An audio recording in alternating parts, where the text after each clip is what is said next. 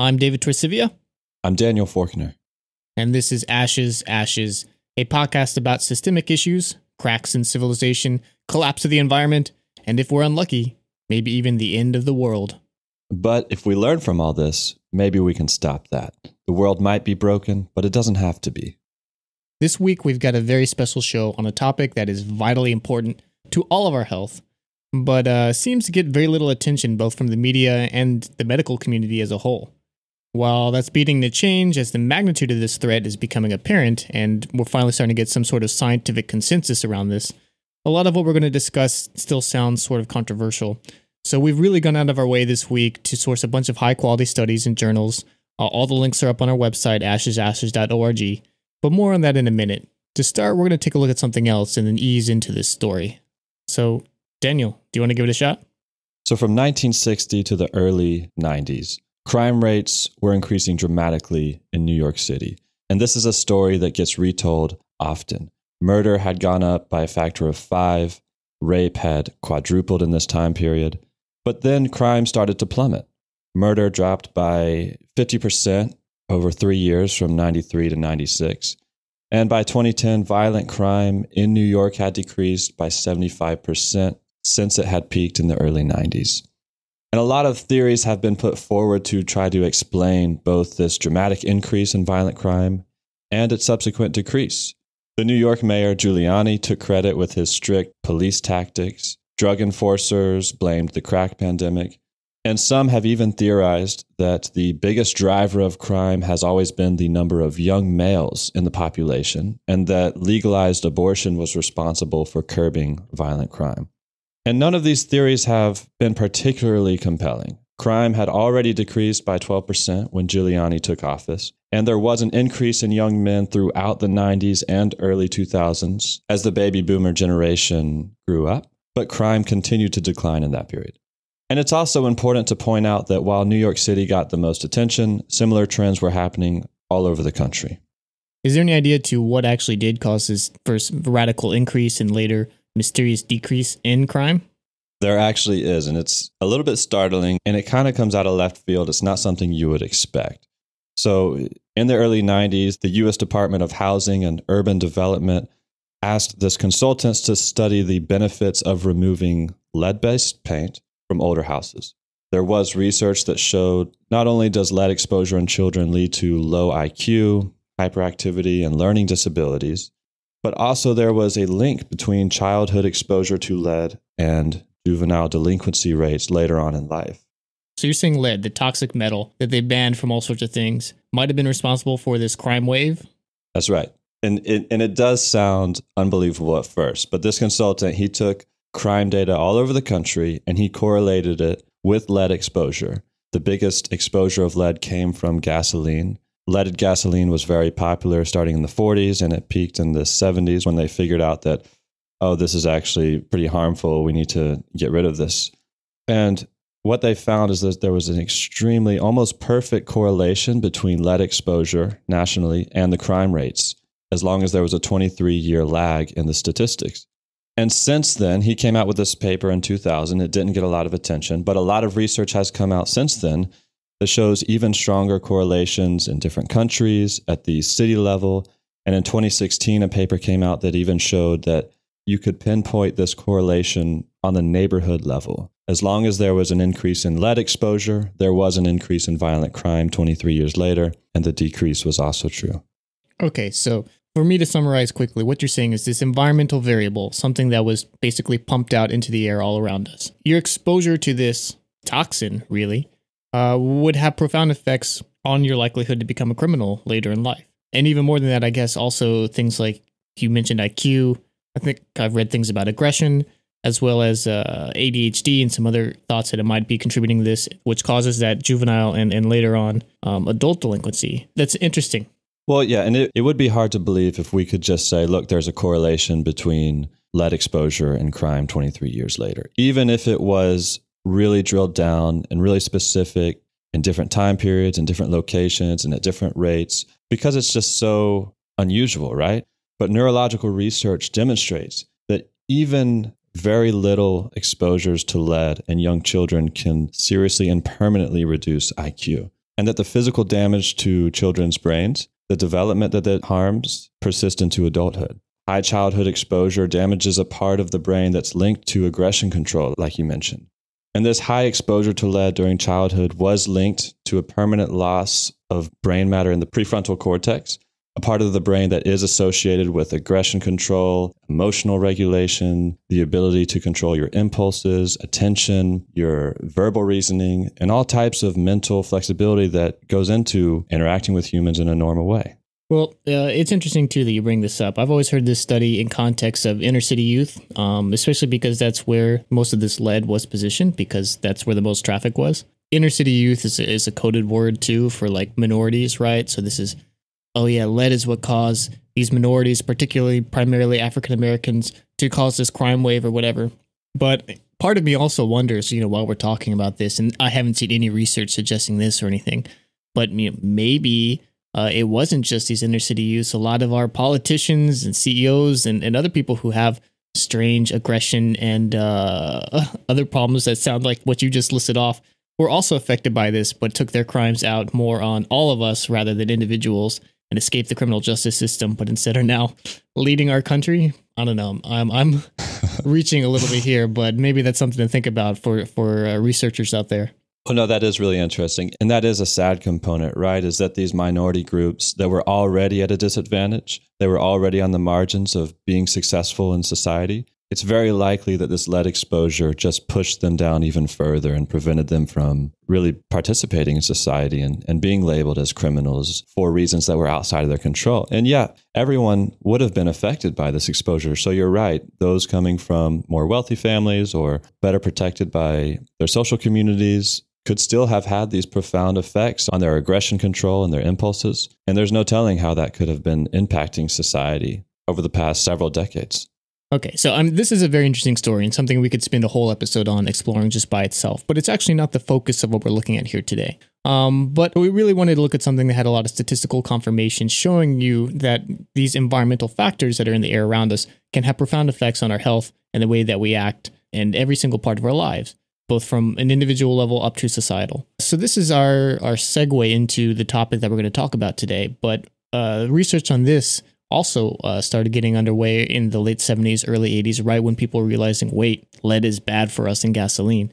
At the same time, there was this big surge of building office buildings and stuff, right? So lots of people were suddenly working in offices. There were all these white collar jobs. Um, and we really saw the surge of productivity that aligned with the development of electronics in the office that really created this sort of office space in a way that we hadn't seen before. And a lot of these new constructions, these new buildings, people started getting sick in them. They had all sorts of weird problems like headaches. They had uh, respiratory problems, uh, inability to concentrate, eye problems, all sorts of things that anybody who's been in a building that feels you know stuffy has suffered from at times.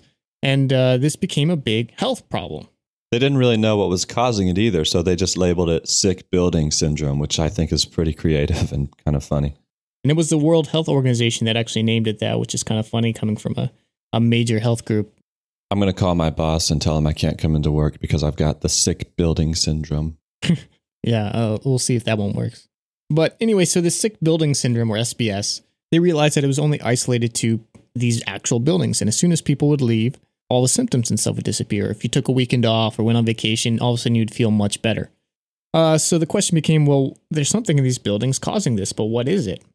And there were a lot of theories thrown out. Uh, toxic mold was a very popular one. Um, they thought it was poor ventilation, weird things coming off people. They weren't sure, but eventually they were able to narrow it down and they found that it was something about the air. They identified a number of pollutants and things that are in all of our air all the time. And they said, well, it's one of these things that's causing this, but we're not sure. And so some of the culprits were volatile organic compounds or VOCs, um, particulate matter, formaldehyde, things that we, when you're tracking pollution now, we still point to as these are the harmful things causing pollution. And yes, all these things are bad for us. It's absolutely true. But a lot of the physiological effects they were seeing still haven't been tied to any of these chemicals or causes. And so the big question was like, well, it's one of these things. Maybe it's the way they interact. But as long as we keep the buildings well ventilated, then the problem goes away. And so the way they tracked that ventilation to see, you know, are we getting enough fresh air in here was by tracking CO2, the carbon dioxide that we breathe out. So by measuring the CO2 that's in the air, you get a kind of like a litmus test for what else is in the air, right? Yeah, that, that's a good example. I mean, the way CO2 works is there's not a lot of it in the air naturally, though that is increasing all the time, which we'll get to in a minute. But as just like air around us, the CO2 level's very low. It's less than 1%. But we actively exhale CO2. So in the process of breathing um, and in the respiration system that we have that enables us to survive, we take in oxygen, right? And that oxygen binds with stuff and, and it generates energy. And the byproduct of the energy, the two main byproducts are carbon dioxide and water. And we exhale that carbon dioxide into the air. So if air starts off 20% oxygen, we breathe out 15% oxygen and 5% carbon dioxide. And so this process, as we sit in a room inside, as we breathe more and more, it starts filling with carbon dioxide. And the carbon dioxide becomes a very good measure of how good is the ventilation in this room. If the room is well ventilated, then the carbon dioxide level should stay the same as it is outside. So as we breathe out CO2 in our office buildings and our spaces, it's a good indicator of how well the building is ventilated, right? Because we're putting a lot of CO2 in the air. So if it starts to accumulate, you know that the building is not very well ventilated because it's not being flushed out and replaced by air from the outside. Yeah, exactly. So we breathe out a lot of CO2 actually. It adds up quite a bit, especially if you have a lot of people in the same room. A single person can emit up to 23 liters of CO2 per hour. Um, and if you're doing physical activity, that can dramatically increase by as much as eight or even 10 times. So this thing becomes a very good marker of how fresh air is and how much air is, is mixed with the outside. Because the outside air has a very low parts per million. That's the measure of CO2 level. So we exhale CO2 at 50,000 parts per million. Okay. And the background level of CO2 in the air outside has been increasing over the past hundred and so years because of pollution and the greenhouse gases and burning all this fossil fuel and stuff. But it's now a little over 400. It's about 406 parts per million, and it varies according to the season. And that increase has happened just over the last 150 years since industrialization, right? I mean, we I mean, throughout human history, we evolved at CO2 levels less than 300 parts per million. So, this like elevated CO2 levels is a very new and recent phenomenon in the long terms of human history and, and human health. Up until just a few generations ago, like you said, uh, the average background CO2 level was 280, um, maybe 300 in a particularly bad area. It, we've increased dramatically, you know, by over a third in just the past 100, 150 years. And if things continue the same way they are right now, we might see that increase even more dramatically by the end of the century, where instead of 400 parts per million, we might see as high as 800 parts per million outside, which might have some profound effects. And we'll talk about that in a little bit. But you mentioned that we evolved primarily under this 280 parts per million background CO2 level. And that's interesting because this is the level our human physiology is evolved for. This is where we operate at our peak capacity, so to say. And because we evolved in an environment with a lower level of CO2, I'm guessing there are some negative consequences when that CO2 level rises. So, CO2 isn't just a waste product, it actually has a lot of important functions in our body. So, for example, this is one of the most interesting things. We detect how much air, how much oxygen we need to breathe, not by measuring the oxygen that we're taking in, but actually in how much carbon dioxide that we're exhaling. Getting rid of this waste from our system is what keeps control of how much oxygen that we're breathing in. And the body automatically regulates this. So if you're breathing out too little CO2, you're going to be breathing too little oxygen. If you breathe out too much CO2, you're going to be trying to breathe more and more oxygen to compensate. And so there's a, a big regulatory effect. And it goes from there much deeper than that, too. So CO2 uh, is absorbed into our blood. And this is part of, you know, from the blood, it's transported into our lungs and exhaled from there. But in the process of doing that, they also increases the acidity of our blood. So this lower pH blood has a lot of effects on our body. Yeah, so too much CO2 in our bodies can cause our blood pH levels to decrease, like you said, David, which increases the acidity. And this can trigger all kinds of things in our bodies like tremors, headaches, hyperventilation, uh, visual impairment, breathing issues. We'll experience dizziness and problems with concentration. Um, so there are a lot of bad effects from too much CO2 in our blood. This condition actually it has a medical term. It's called hypercapnia. And typically that's only used to refer to very high levels like 10,000 parts per million, 40,000 parts per million, which is when it starts getting very, very dangerous at 40,000 parts per million. Um, you start having these things become life threatening. 50,000 parts per million, you're basically a drunk person. 70,000 parts per million, uh, you pass out. And at 90,000 parts per million, you're dead within minutes. But wait, wait, let's go back to that symptom list and, and look at that again. What were those again, Daniel? Tremors, headaches, hyperventilation, visual impairment, breathing issues, dizziness, problems concentrating, reduced fertility, reduced cognitive ability, increased blood pressure, and erratic behavior, to name a few. Some of those sound kind of familiar. What were, if we go back to those sick building syndrome things, I think I remember headaches, visual impairment, dizziness, problems concentrating.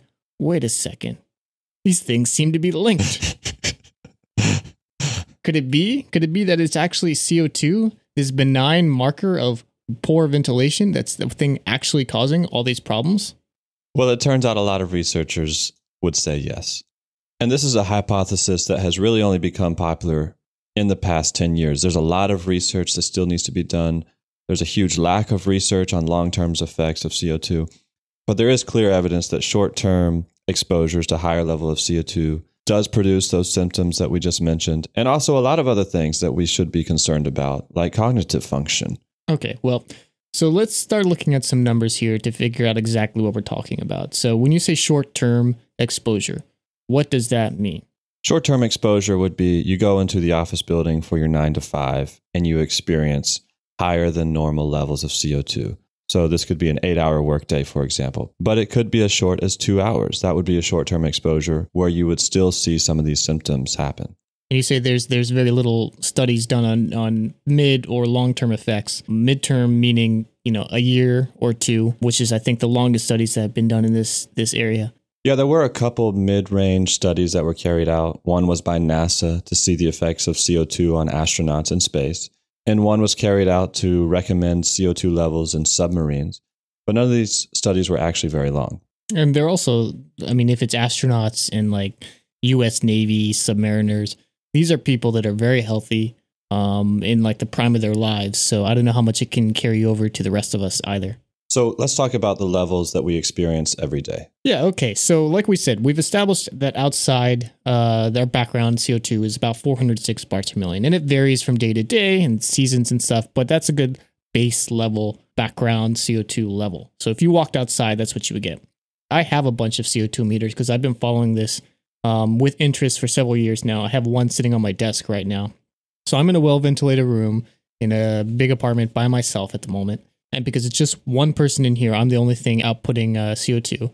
And my CO2 levels uh, are sitting here at 575 parts per million, which is considered very, very good. In office buildings, 1,000 parts per million is the kind of recommended standard, but that's on the low side, and many office buildings will get up to much higher than that. And OSHA actually sets the upper limit to 5,000 parts per million, which was a number that was come to in large part because of those studies on those submarines. Okay, so office buildings are 1,000 or 2,500 parts per million.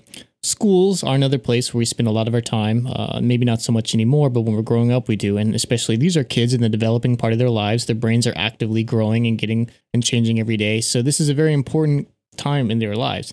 And a large study was done. This is actually one of the only large CO2 studies that, that has really been done by a governmental organization in the past 10 years by uh, the state of Texas, among some other groups. Um, there's some other studies done in, in Europe on school levels to see what kids are putting up with day to day. And they found something like over 60% of classrooms had above 1,000 parts per million CO2, with a large part being above 2,500 parts per million, and the most extreme classrooms reaching as high as 6,000 parts per million, even above those OSHA standards. And that's a little concerning because the sick building syndrome symptoms that we listed earlier, these headaches and things like this, the symptoms are actually a little bit more pronounced in children. So at around that 1000 parts per million level, you know, children will experience lower levels of concentration, sneezing, and symptoms of asthma. And these levels of CO2 can have a big impact on students' ability to concentrate and learn, to take tests. It affects their attention and their memory, and all types of things that are important to their academic performance. I mean, I know growing up in school, um, and again later in college, especially in those large lecture halls, like you have those days when you're sitting there and you just can't concentrate. You're falling asleep. You feel like you have no idea what's going on. You just want to, you're jittery in your seat. You want to get out of there.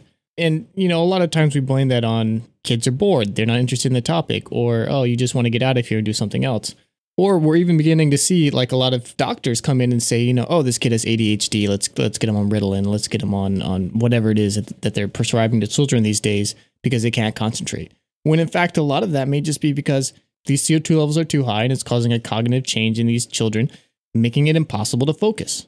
I always thought that I had trouble concentrating in class because I had been drinking the night before, but now I know that it wasn't my fault. It was just the CO2 in the air. I hope you're talking about college and not not, not your other schools. and this has profound effects um, both on children and then also on those office workers that we talked about as well. But these aren't the only places CO2 levels are very high. We see them a lot in public transportation, for example. Airliners are routinely over 2,000 parts per million, buses above 2,500 parts per million. I've actually measured this myself on trains. I've seen anywhere from 800 parts per million to above 2,000 parts per million. And cars, wow. A car by yourself is obviously, especially if you have the air running on that recycle mode where you're not bringing in outside stuff, like when it's cold or when it's very hot outside. You're just basically sitting in there, breathing out all the CO2 and just sitting in it like a like a bath. And uh, very quickly, within minutes of sitting in a car by yourself, that car will be above 2,000 parts per million. And if you have several people in that car, I've seen studies saying that four or five people in a car will put you above 10,000 parts per million, which causes acute dangerous effects. This is starting to get into the danger zone within 25, 30 minutes. And again, uh, when you're on these long drives and stuff, we've all felt tired, inability to concentrate and stuff, which again, you know, it might not just be that road hypnotism that we think about, but also the actual CO2 that we're putting out in this car that is making us difficult to concentrate on the road ahead of us, putting both ourselves and other people at danger. One that you might not expect, but is kind of alarming, is that if you wear a motorcycle helmet, you could be experiencing up to 20,000 parts per million of carbon dioxide in the air that you're breathing, even while you're moving. And the last thing we need is people driving a motorcycle with decreased concentration and headaches and all that good stuff. Okay, so we've established these levels are very high, right? These things are getting into the area where where researchers are concerned, where doctors are concerned, saying, okay, this is going to start having effect on uh, different abilities of us to do something. So the big concern here is as this background level of CO2 increases, then the ability for us to ventilate these places and get these CO2 levels down to a reasonable safe zone, which we know is below 1,000 parts per million, and it, it might be much lower than that. And we'll talk more about that in a moment. It becomes more difficult because that outside air that we use to level and normalize the background CO2 of the indoor air becomes much higher itself. And so this differential gets smaller and it's harder to jettison this excess CO2. But let's talk about some other effects. Obviously, it sucks to get headaches and things like that. But researchers did notice that some of these sick building syndrome symptoms were possibly linked to CO2. And so they started doing some research. And one of the big things that has come out is that moderately increased levels of CO2 have profound impacts on our cognitive functions. A 2012 study from Berkeley, repeated in a larger 2015 study from Harvard, uh, found some startling things. Using a baseline of 600 parts per million as a raw score for this testing that they did, they found that when CO2 rose to about 1,000 parts per million, they saw 11 to 23% decrease in cognitive functions in their participants. When it got up to 2,500 parts per million, which is again common in schools and poorly ventilated buildings, like we mentioned, you saw a 44 to 94% decrease in cognition. These effects were most pronounced in these activity levels of crisis response, which is your ability to make decisions under emergency situations, information usage, and strategy, which is your ability to plan, prioritize, and sequence actions. Let's pause for a moment here because this is when this story goes from like, yes, CO2 is concerning to like, oh, wait, we might all be fucked. So, just to summarize this study again, because I think it really deserves repeating these numbers because they're so shocking. So, a raw score, the baseline score of 600 parts per million, which is higher than what we've evolved under, that's double the, the carbon dioxide levels that we are used to existing under as a human species. And so 1000 parts per million, which is considered, again, as a very good level in an office building or in a school, we saw as high as a 23% decrease in cognitive abilities. 23%. That's humongous. Okay. Uh, that's that wipes out any sort of gains that we've made in terms of IQ or intelligence or whatever it is over the past you know century from our improved nutrition and, and health and whatever. And remember that a thousand parts per million is the standard goal for buildings. Right. And and so 2500 parts per million, which is a number that is not uncommon to find, especially in buildings, older buildings with poor ventilation, and in almost every school a 44 to 94% decrease in these cognitive tests. That's humongous. Okay. So, I mean, let's just look for a moment at kids.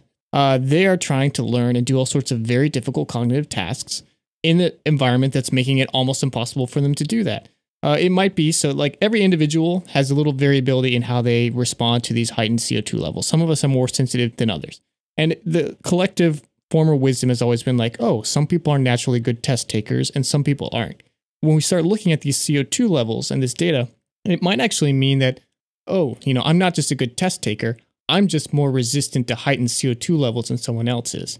And it's just that natural uh, genetic quirk of my body enables me to score higher on these tests and therefore have that whole trickle down effect on the rest of my life. I can do better college, I go to get scholarships, and I live a better life because the CO2 levels in my classroom were higher and I was able to resist it better than somebody else. This is a humongous failing of our educational systems. And at a larger scale, in terms of business, I mean, if any entrepreneurs out there are listening, imagine you could come up with a device, a very simple device that the technology already exists for, carbon dioxide scrubbers. Um, and you bring this device to a business and you say, I've got a little box right here. Plug it in. You can subscribe to my scrubbing things weekly or monthly or whatever it is. And uh, it will increase the productivity of your workers 22 to 50%. If that's not a billion dollar idea, I don't know what is. So somebody take that and send me a check. But this is a humongous, groundbreaking study it's so important and so impressive that NASA is actively looking at their former 5,000 parts per million guidelines, which astronauts were already complaining about headaches um, and other other things under these levels. And NASA's saying, you know what? With these cognitive ability research coming out, we might have fucked up, and we need to way decrease our parts per million because uh, this might be having profound effects on our astronauts and their ability to complete their missions in a safe and efficient manner. So again, this is a 600 parts per million baseline right? If you look at the IPCC reports for climate change and stuff, we might be facing 800 parts per million outside natural baseline by the end of this century. And so that means this raw score of 600 isn't even going to be possible. Indoors, we're not going to be looking at 1000 parts per million, which is double and then some of the outside, but the inside world will be 1500 parts per million as a good ventilated area. That has humongous effects on the ability of our species, of the human race, to deal with all these climate change problems as they come up. And we are at the same time decreasing our cognitive ability to handle all these problems. Yeah, that's the big thing that sticks out to me is on the one hand, I hate to imagine that I personally am experiencing this 30, 40, 50% decline in my cognitive functions when I'm operating in a building and that kind of sucks for me as a as an individual. But when when those effects occur in every individual throughout society you're looking at 40% declines in cognitive functions of society as a whole. I mean that has huge implications for our ability to progress into the future right? And especially when you're talking about children that are growing up in these high concentrated uh, schools that are having trouble concentrating and are maybe not developing intellectually and educationally the way that we really need them to be yeah, well, that's a huge gap in our knowledge right now, too. There are literally no studies, and I've spent days and days looking for this. There are no studies done on the long term effects of CO2 on developing minds. So we just have to throw our hands up in the air and say, we have no idea what this is doing to our children. There's no idea how developing minds are affected by these extremely high CO2 levels that we've never seen before in human history because these these very airtight buildings are a very recent invention in terms of the long-term long history of humanity this is a brand new problem. And this is something that you know we might be looking at in a couple of decades as as important as that lead issue or or cigarettes or something else. And i've kind of been wondering why is there such a lack of research in this area? I mean co2 is a very known molecule in the air that we associate with global climate change. But there is no long-term research like you said on the effects of the human brain or on our ability to function but one suggestion that one research put forth as a possible reason why we're lacking this research is because for however bad CO2 levels get indoors, we can always just walk outside, breathe fresh air, and normalize our system, right? But like you said, we're facing a world where outdoor CO2 levels are rising. And we may get to a point when the research finally does catch up, we realize, oh no, we don't we don't want outside ambient air to get to, you know, X concentration, but it's too late. We're already there. And that's the really scary part of this is when we get to this, it's not just a matter of like taking lead out of gasoline, like we were able to do in the 70s or, or banning uh, chlorofluorocarbons for the CFC and the ozone stuff. This this is a, a very important part of not just climate change and the greenhouse gas effect, but also of our health as a race. But uh, we have more stuff. There's more things that CO2 is doing to us. And I don't want us to get too distracted. so let's uh, let's keep pushing on on these other horrible horrible stuff this heightened carbon dioxide is doing to all of our bodies. Let's keep the bad news flowing. Yeah, that's our motto here. Okay, yeah. So let's look at some other effects that CO2 might be having on us as a society and as individuals. Research has shown that CO2 may be linked to the rise in obesity in our society and also the poor quality of our sleep and our appetite. We also know that CO2 levels are associated with kidney failure and osteoporosis. Anxiety could be another thing that's hugely impacted by CO2 levels in the blood. And this is still speculative research, but there was a study done on mice that found that when mice were exposed to a high concentration of CO2, it caused these classic fear behavior symptoms in mice. You know, the types of symptoms that you would normally associate with panic attacks and extreme anxiety. And it's this idea that part of the brain's response to CO2 levels is this kind of, you know, suffocation alarm, right? If there's too much CO2 in your blood, it must mean that you're in an area of low oxygen and it creates this fear response in many people. And so everyone has different thresholds. And this idea that there could be a lot of people who have lower thresholds of CO2 in the blood that creates this suffocation alarm in the brain, which leads to panic attacks and extreme anxiety. And I know personally, I have friends and I know people who have panic attacks, and they'll tell you that there's no logical reason for it. It just comes on sometimes, and it can be extremely debilitating. And it's possible that a large part of the anxiety in our society is being driven by these high concentrations of CO2. There's also so CO2, uh, and this this one is there's a little bit of controversy here when I was looking into this. Um, but we have these things called reactive oxygen species, which I'm not going to get into, but you medically trained listeners know what I'm talking about. The short version of it is these uh, these are chemicals like peroxide and stuff that generate in your body that cause damage to your cells and at some levels to the DNA itself.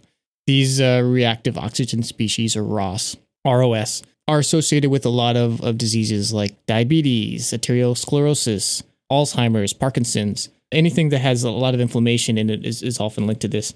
And um, there's a lot of evidence that CO2 exacerbates this problem and makes these ROS more toxic. I've also found some research that suggests that CO2 uh, higher levels actually decrease the amount of ROS generated, but the stuff that is generated might increase toxicity. And the concern with with some of these researchers is that as we have more carbon dioxide in our blood in the air around us, that we we make these chemicals worse, and we'll see an increase in Alzheimer's, Parkinson's, chronic inflammation, diabetes. Which you know, wait a second, those are all diseases that are exploding right now, along with obesity, along with anxiety. So again, we see all these these symptoms that CO2 is linked to, these diseases that it's linked to, that are exploding in our society around us at the same time as CO2 levels are growing at a rate that's never been seen before, basically in all of recorded history, as far back as geology can go. One of the big gaps in this research, like we said, is the long term effects. And the reason why that's concerning is because when CO2 rises in our body and it increases the acidity, we have compensatory mechanisms in our body that try to regulate that pH level back up to its normal level. The kidney plays a huge role in doing that. And when these mechanisms are forced to remain active over long periods of time, they start to break down. And we don't really understand all the long term effects of that. I mean, we do know that the kidney will work to regulate the pH level of our blood. And if it has to continue doing that, eventually that stops. And when the kidney stops performing this mechanism, our body steals carbonates from our bones in order to regulate the pH level, which can lead to osteoporosis. And so the question becomes then well, at what levels is the CO2 need to be at before our body's constantly compensating. Um, and then we see these prolonged, constant streams of, of, of our bodies trying to generate and fight this CO2 off. And there's been almost no research done on this. I was only able to find a single paper that mentioned it, and it posits at this clickover state because there's a linear relationship to CO2 levels and the pH level of our blood. Um, without the compensatory uh, uh, effects our body does, uh, we start getting serious acidosis around 430 parts per million so that seems to be the trigger point of when the body says, okay, I need to start compensating and activating these other mechanisms to get this pH level back up to where it needs to be. So 430 parts per million, we live most of human history under 280 parts per million, and now we're 406. We're increasing several parts per million every year. So we're half a decade out, maybe a decade, of being at 430 parts per million all the time, of our bodies being constantly compensating for this heightened CO2 levels all around us and in our blood. What effects that will have on us long term, like Daniel mentioned, osteoporosis. There's some big concerns about kidney failure over very long studies. Um, in fact, the U.S. Navy identified this as a serious place that they need to look at in terms of long term effect to their sailors on these submarines. But then that study was never followed up on. That was in the late 80s, and they haven't done anything since then. This might be a serious problem.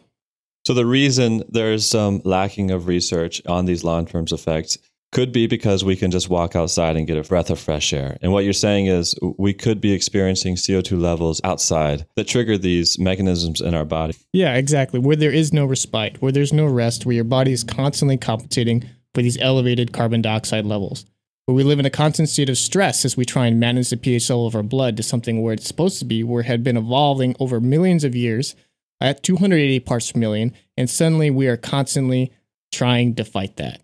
That sounds stressful. It has profound effects on the long term health of our body, and obviously with the cognitive effects and, and other uh, problems that we mentioned throughout this episode. And I mean, the IPCC does recognize that CO2 could pose a health danger, but because of this lack of research and the fact that they place more significance on CO2 as a driver of global climate change, they basically don't address it as a serious need for concern, which means that a lot of countries and researchers who maybe should be spending a little bit more time researching this may not be incentivized to. Okay, so we've identified there's no research being done in the long term studies. Uh, there's no research being done on developmental effects. And it doesn't seem like the scientific community at large is particularly concerned about this outside of the productivity nature of this, right? So the only studies being done at the moment are well, how does this affect our workers? You know, are they not being able to think well enough in the office place? And so maybe we should, we need to redefine our priorities here and say, well, this is a, a dramatic health concern for society at large, for all of human health. And we need to look at this not just in terms of how is this affecting workers in office places, but uh, how is this going to affect the long term health of all of, of humans, of humanity? Well, it's not just humanity, right? I mean, we touched in the last episode about deoxygenation in the ocean having huge impacts on marine life. And I guess I'm wondering how this could be affecting other animals as well. Yeah, I mean, so studies have been done uh, they found this particularly fish are highly susceptible to these higher CO2 levels, um, which you're right does tie into the episode we did last week. And it causes anxiety, it causes weird behavior and stuff. And we're seeing this already, like now, um, especially with animals that are smaller than us that have difficulty offloading this excess CO2 waste that our larger bodies are able to cope with. Every single thing on this earth that breathes oxygen is facing these problems, and we're we're just beginning to understand that that uh, the effects some of these might have in changing the behavior of everything. So, I mean, if this is, affects the anxiety of humans, if this affects our, our decision making, if this affects uh, our anger response, um, which is something we've seen in some hypercapnia stuff, then it might very well be doing the same to animals, to even pets, right? So our, our dogs, our cats are affected by this. I'd be very interested in seeing some research done to see if there's increases um, measurable increases in changes of animal behavior that could be tied to these increased CO2 levels. And I guess we'll be really finding out if that's the case over the next decade or two as the CO2 level really starts jumping and we see those parts per million climb much, much faster all the time. Yeah. And so, like the lead story, right? We did notice that lead was a problem in society. Leaded gasoline was the main culprit in terms of exposure, and we replaced that with unleaded gasoline. And yeah, lead is still around. It's still a huge health risk. There's a lot of lead and paint in older houses that people get exposed to when they renovate. There's still lead in soil that gets kicked up in certain times of the year and in different places. But in large part, we've been able to remove that as an immediate threat to us. But CO2 in the air is a lot harder to get rid of. Right, which is why the focus on on reducing greenhouse emissions has been just on that, on reducing emissions. Um, though you know the IPCC two Celsius goal does have plans for carbon capture and sequestration, which is literally sucking this carbon dioxide out of the air and burying it in the ground using a variety of mechanisms. But that technology really doesn't exist yet, and when it does exist, it's not at scale and it's far too expensive to be practical. Even though we're supposed to have had it running for a couple years now, but who's who's counting? So without this magical CCS technology, uh, we're stuck with the carbon dioxide that's in the air, and it's only getting worse. Every time you drive your car, every time you do anything that burns these fossil fuels, you purchase a product that's made with these fossil fuels, which is, by the way, everything. Uh, we are contributing to this problem and sealing our fate into the future. And there's no easy way to just stop it and pull it out of the environment and get away from it like we had with lead. So we should be encouraging more research in this area the long term effects of CO2. And we should use things like this as even more incentive to reduce our carbon emissions and look into potentially some of these technologies for sequestering carbon dioxide out of the air, right? And I can see a future that has these carbon scrubbers in, you know, every classroom, in every workplace, uh, maybe even our beds at night. But uh, hopefully it doesn't get to that point. But I, it wouldn't surprise me if a decade or two from now that we definitely see this. But as individuals, I think there are things we can do right now. I mean, next time you're in a building and you're starting to feel a little bit drowsy, maybe you have a headache, maybe go outside, take a walk, you know, take a breather. I mean, we have air outside that's a lot fresher than the air that's in a lot of our poorly ventilated buildings, and we should take advantage of it. Appreciate the air that's right now freely available and still in relatively good quality. Yeah, I mean, since I started researching this topic years ago, and I'm now like very conscious when I'm in a room with lots of people and uh, not a lot of ventilation, I can feel myself getting tired. And instead of being like, oh, I'm cranky or I'm irritable and, and taking it out on someone around me, it's easy. And I realize, oh, there's too much carbon dioxide in here. I'm going to go outside for a second. And I go outside and I breathe and I feel better within a couple of minutes. And I go back in and I'm and uh, I'm ready to hit it again. So being conscious of this, being conscious of how these can affect the people around us, is a personal step you can take in your day to day. and then beyond that, evangelizing to your friends and coworkers and letting them know the same thing is true and uh, to take those breaks to get out of the city every now and then and go breathe that fresh uh, country air. On that note, I guess that wraps it up for this week. A lot of time and research does go into making these episodes possible. We will never use ads to support this podcast, so if you enjoy it and would like us to keep going, you can support us by giving us a review and recommending us to a friend. Again, we did a lot of research for this episode, and all these papers and more are available on our website at ashesashes.org. You can also find us on your favorite social network at Ashes Ashes Cast, where we post all sorts of news stories and things about the terrible things going on all around us all the time. Until next week. Bye-bye. Bye.